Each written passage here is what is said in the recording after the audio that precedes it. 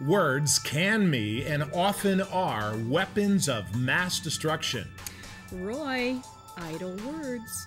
And stone fruit? All of this and more is coming up on Quick Study. We're on the air. Stay there.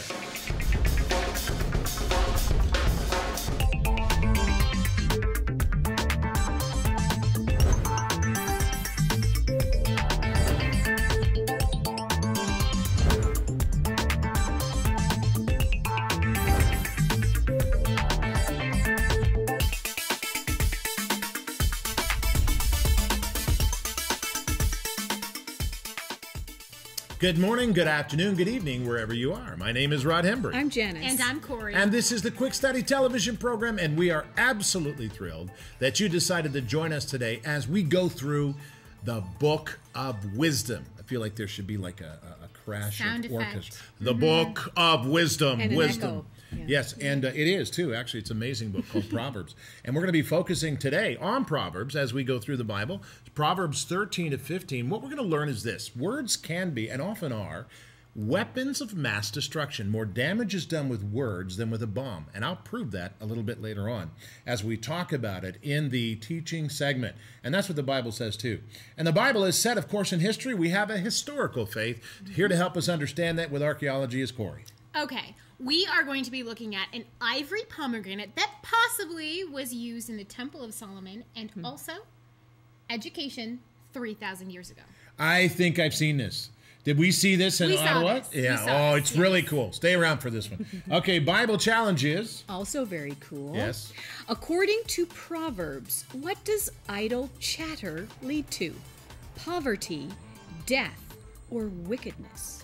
All right, Corey, you're gonna have to answer that question based on our reading today. Okay. Okay, based on our reading today. in- Today. confined in today's reading. Proverbs Okay. 13 through 15. That's right. All right, get out your Bibles and study with us. It is time to continue through the Bible. Here we go.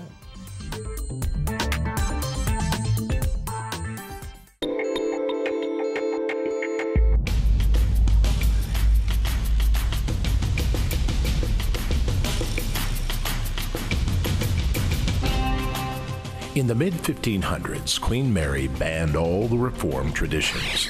And these reformer works brought great strength to the Word of God and the Church. But Queen Mary murdered and burned over 300 men and women and children related to the revival of the Bible in English and the reform of the Church. It earned her the notorious and infamous title Bloody Mary. Now, the Bible throughout the centuries have often offended the corridors of human political thinking with the truth of God's power and authority over the minds of men and women.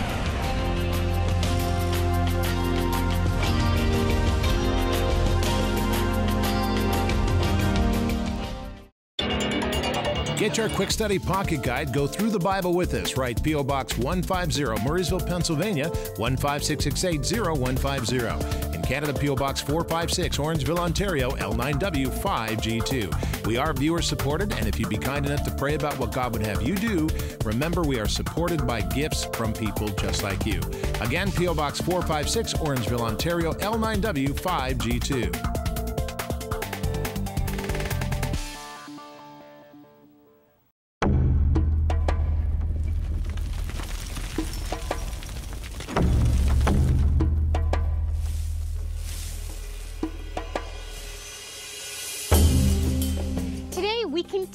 Our journey through the book of wisdom, the book of Proverbs in the Old Testament of the Bible. Now, you should know that the book of Proverbs was written by King Solomon of Israel. Now, King Solomon is the famous son of King David, the idyllic king of Israel. Now, what I want to take a look uh, with you right now at is an artifact, a very tiny artifact that was found not too long ago that archaeologists have claimed might have come from this time period of King Solomon, may have been used, in fact, in the most famous building in all of history, the Temple of the Lord in Jerusalem. The pomegranate is a fruit native to Asia. It grows in clusters on a small tree or shrub. It is the symbolism behind this fruit that has become intriguing. References to pomegranates in the Bible are not scarce. In Exodus, we learn that pictures of pomegranates were embroidered along the bottom hem of priest robes. These priests were those serving in the tent of meeting at the time of Moses.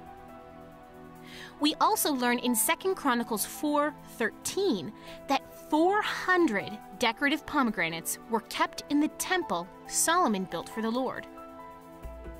In Numbers 13:23, spies were sent out to look at the promised land. They brought back grapes, pomegranates, and figs to demonstrate the fertility of the land. The idea of representing fertility goes further when we look at Canaanite culture. Their cult of the goddess Ashtoreth utilized the pomegranate in its imagery.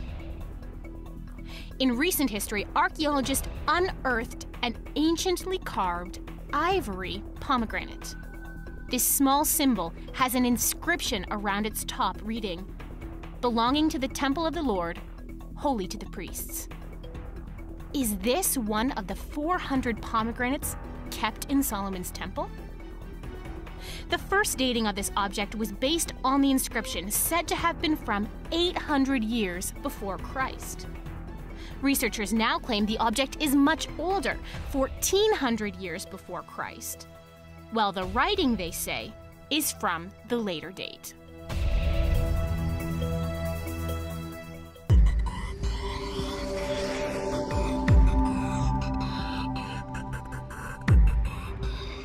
Well, today, continuing with the self evident truths and the reality commands of Proverbs 13 to 15, the collection of wise sayings intensifies on every level. Proverbs 13 tends to compare lifestyles between the foolish and the wise. Proverbs 14 speaks of relationships, while Proverbs 15 starts out with the most obvious yet frequently ignored truth. A soft answer turns away wrath.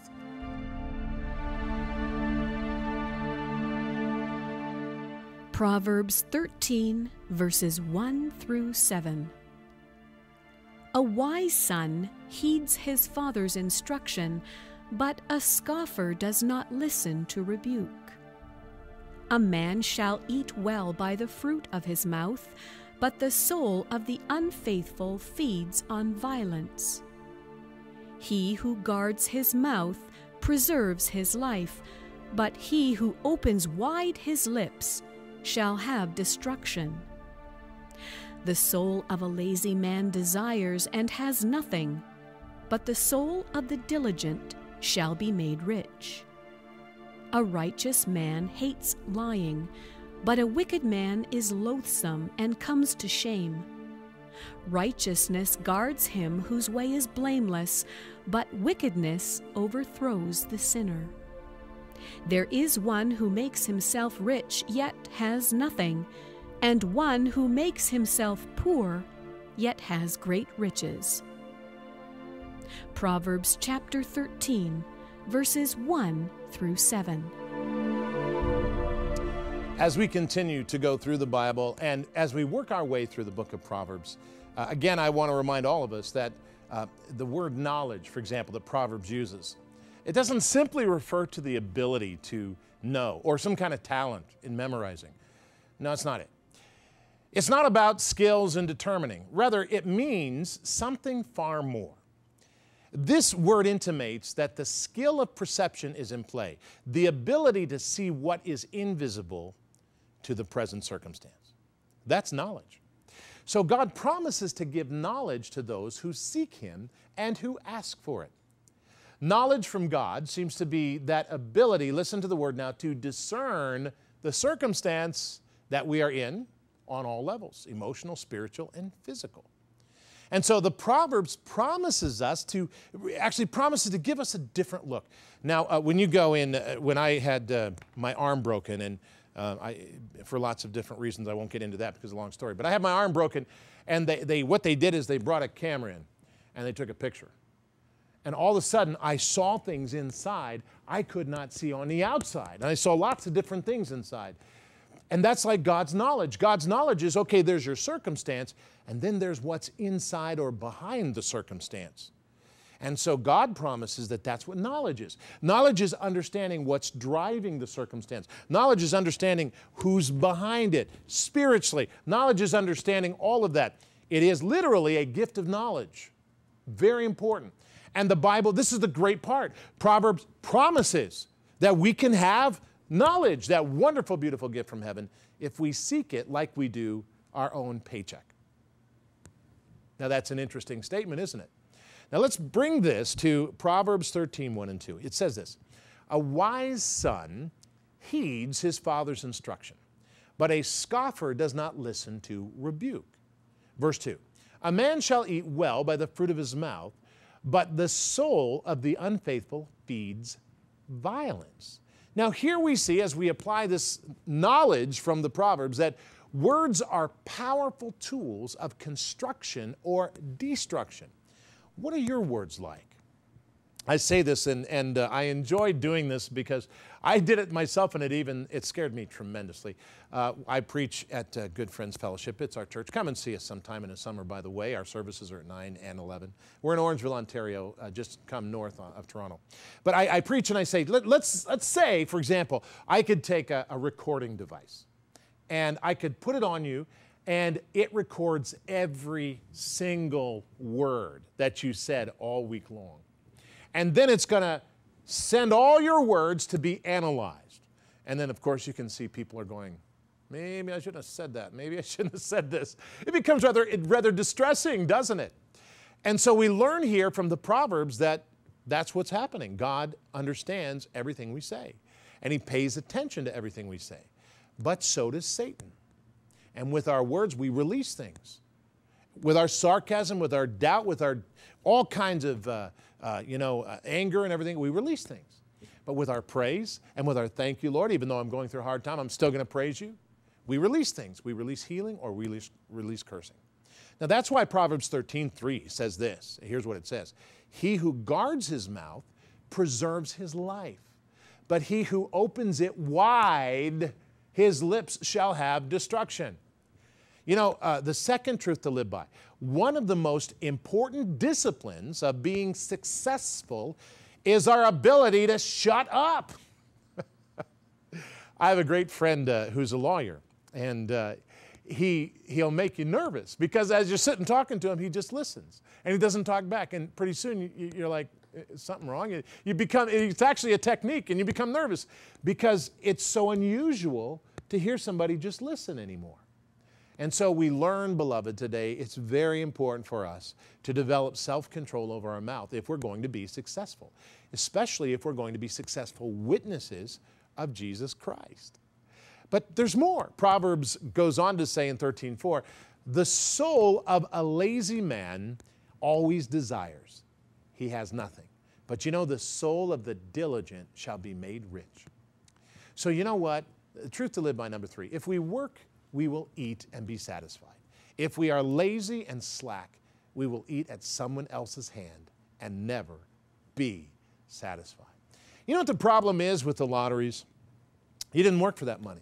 Everybody wants to win a million dollars and they think, oh, a million dollars, but just had a million dollars, all my trouble would go away. Brother and sister, my beloved, the troubles are just beginning. You just you give money that you never worked for, you get money you never worked for. I got news for you. That money's going to make you work for it and you can track it throughout history. You see, God assigns money and He assigns provision to those He has chosen. And what is important for us to remember is that as we are diligent, in other words, as we love to work, as we put our mind to it and say, we're going to do this like Paul says to the church, we're going to do this as unto Christ. As we work, work is good. Work is good. Hard work is good. And the Bible says you will be rewarded for hard work. It is good to work hard. It is not good to, to think that you're entitled to everything. It is good to work for your sustenance. That is a principle that comes directly from the Bible.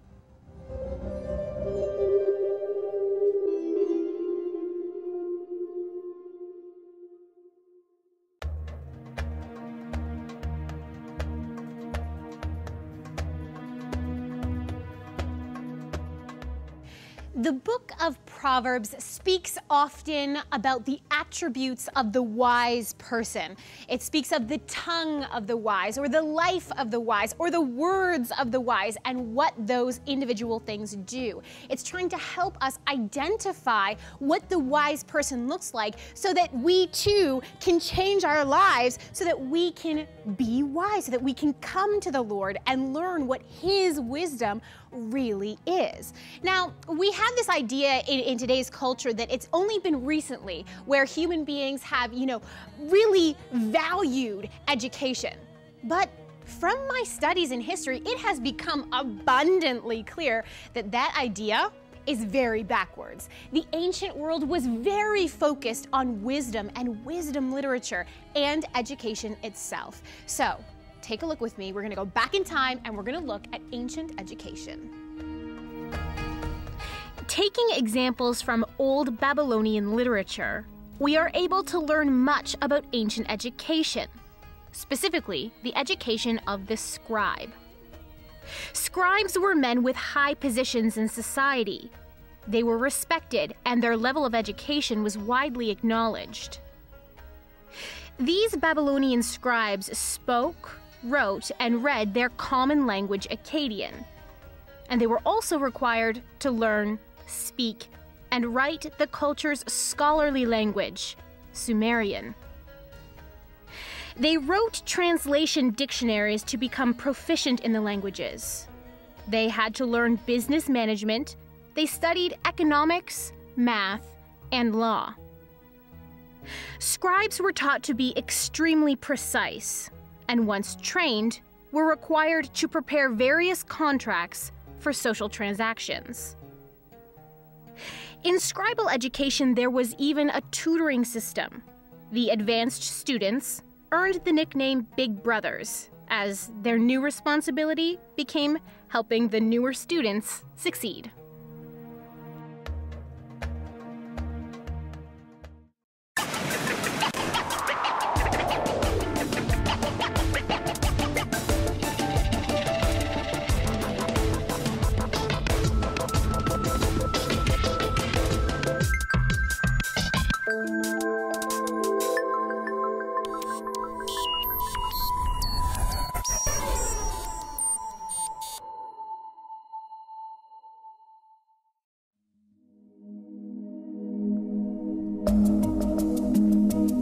Study Television and Bible Discovery TV present a TV special called Cultures and Creeds on DVD. Corey and Ryan Hembree examined the ancient cultures in the Bible and the creeds they respected in order to understand the context and the spiritual mood in which the Bible figures encountered God. Cultures and Creeds with Corey and Ryan Hembree brings you ancient history, Bible archaeology, stunning revelations about the way in which God confronted every culture and creed in every generation throughout time. This is part two in a 12 part TV series just out of the edit suite. Discover just how relevant the Bible really is today by understanding how God encountered the past generations. To receive your own DVD TV special called Cultures and Creeds, we suggest a donation of $20 or more. You can write with your donation to P.O. Box 456, Orangeville, Ontario, L9W5G2. In the United States, you can write to P.O. Box 150, Murrysville, Pennsylvania, 15680 To call with a credit card, 1 519 940 8338 or 724 733 8336.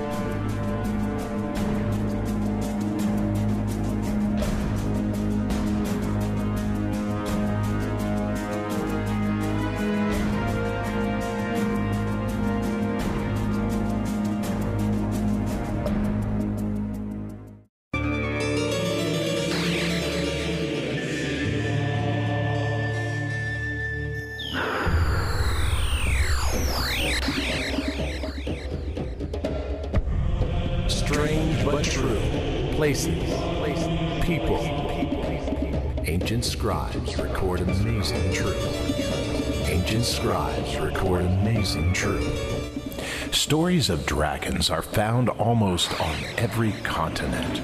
In libraries around the world, there are many old books and stories that have detailed records of dragons and their encounters with the armies of men.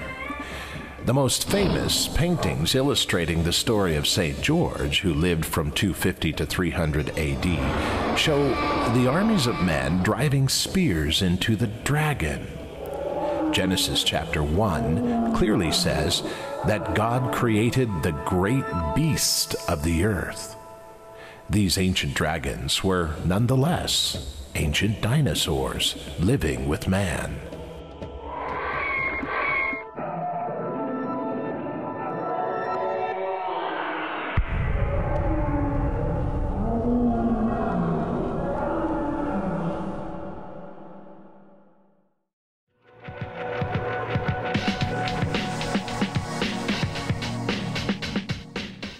Choices and making decisions should never be casual in a sense of apathy.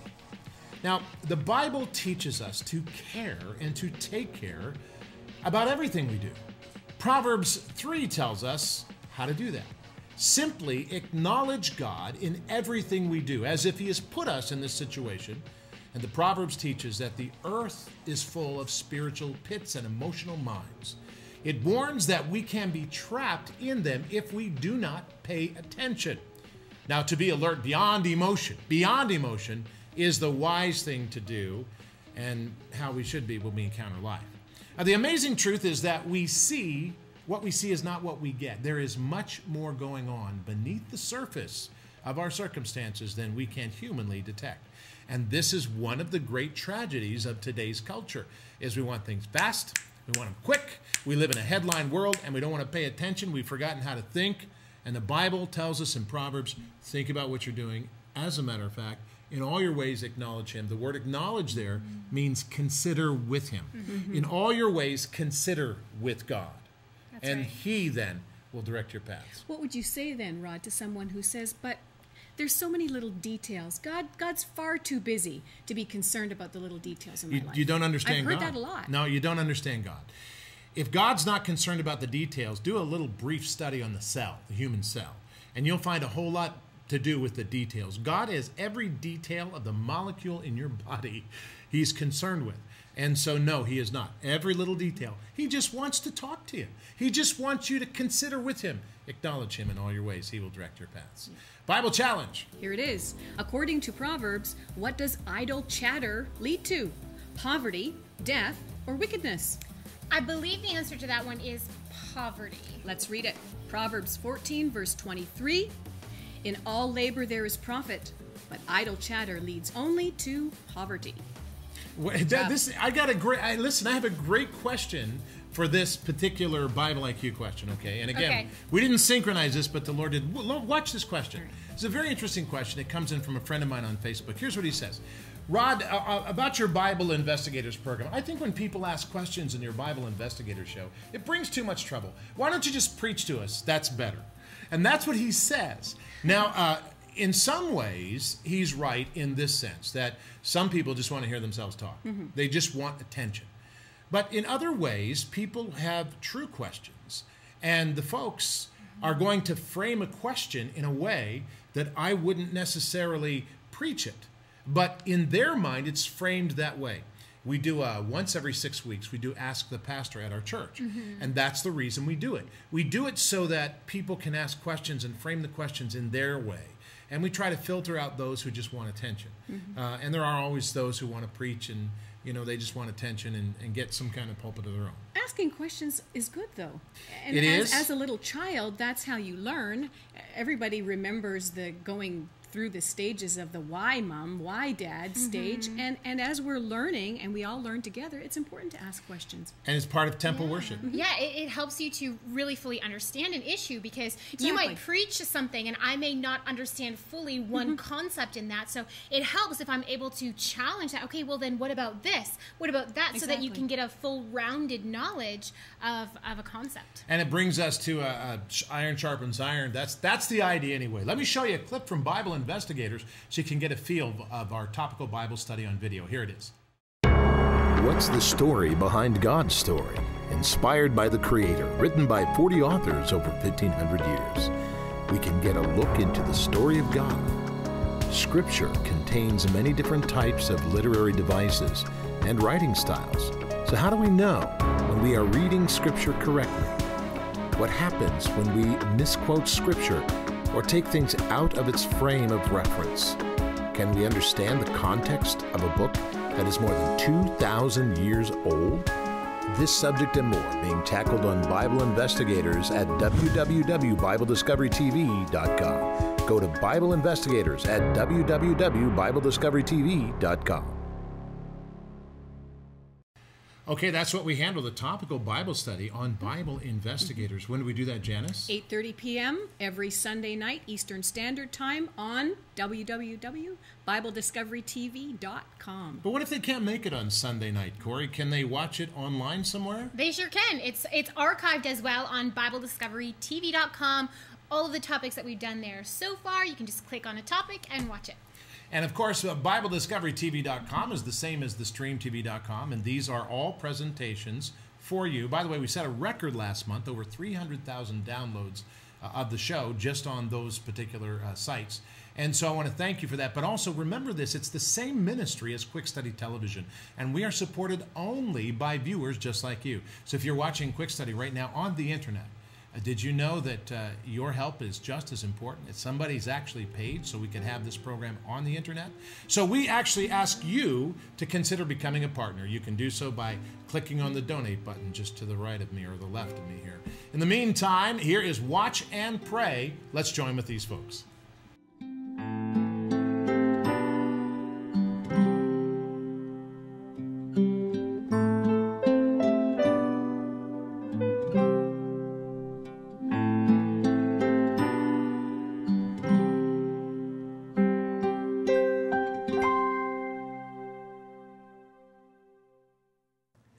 The thing about the Bible is it speaks of a God who doesn't just sit around and think about things, but actually does things.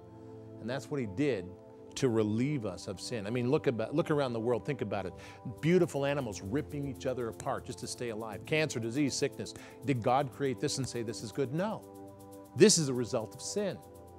Man kicked God off the planet years ago, but God so loved the world that he gave his only begotten Son that whoever believes in him shall not perish but have everlasting life. God acted. He did something for you and for me. He did something to give us a fresh start, to say, you don't have to fall victim to all that past.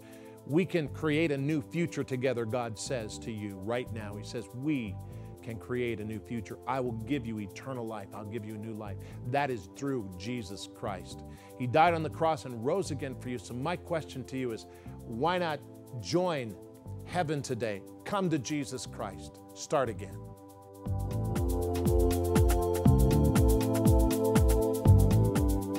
Hey, thank you for joining us today on the Quick Study television program. If you're watching on your iPad as a podcast, thank you for downloading. Over 25,000 downloads. And we're looking for 200 new digital internet partners. Will you be one of them? Pray about it and ask God what He would have you do. Give an offering in any amount, go to the website and click on Donate Now.